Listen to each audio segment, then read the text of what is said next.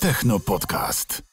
Ja mam nadzieję, że po tym newsie e, my będziemy w stanie e, wyjść z naszych pokoi i nadawać dla Was e, za tydzień o godzinie 9, bo news dotyczy sycylijskiej mafii. Nie mówcie o tym nikomu, jak usłyszycie.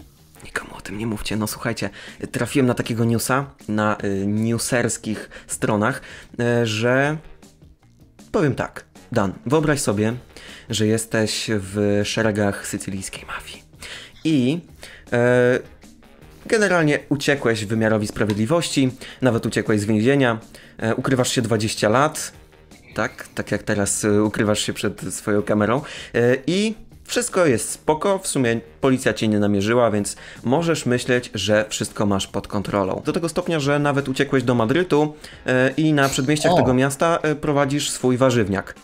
No ale O, tak, przychodzi, przychodzi pewien dzień, może to środa, może to piątek, ale obok twojego warzywniaczka przejeżdża samochód oznakowany Google Street View i robi ci zdjęcie. oh my gosh. A ty go nie zauważasz. A tego nie zauważasz?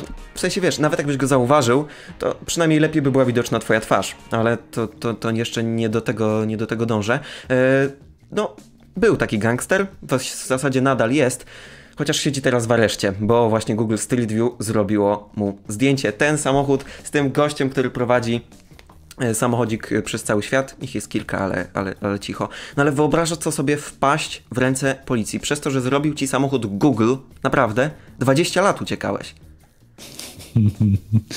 Co mnie natychmiast, co jako y, dociekliwemu podcasterowi od razu rodzą się dwa albo nawet trzy techniczne pytania związane z tym y, jakże zaskakującym wydarzeniem.